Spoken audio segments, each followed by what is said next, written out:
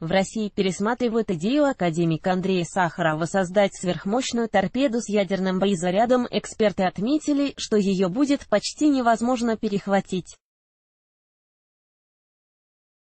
Один из создателей отечественного торпедного оружия Шамиль Алиев рассказал о концепции Сахарова. По его словам, задача этого оружия – уничтожение объектов на побережье при помощи взрыва в воде. Кроме того, эксперт объяснил, что ранее эту идею не притворяли в жизни из-за отсутствия денег.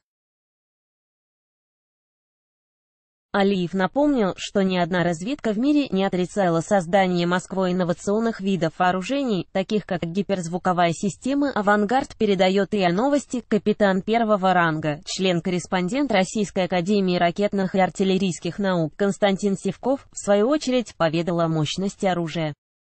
По его мнению, развитие идеи академика Андрея Сахарова позволит создать торпеду, которая способна инициировать гиперцунами. Севков подчеркнул, что такое цунами способно накрыть территорию США, а также европейское побережье, пишет НСН.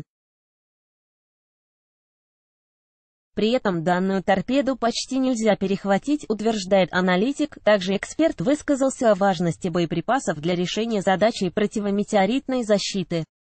Обычными бомбами эту задачу не решить, мощности не хватает, поэтому создание такого боеприпаса – жизненно необходимая вещь. Глубина воронки при взрыве такого боеприпаса может достигать порядка от 400 до 450 метров, а диаметр порядка 6 километров, резюмировал Сивков.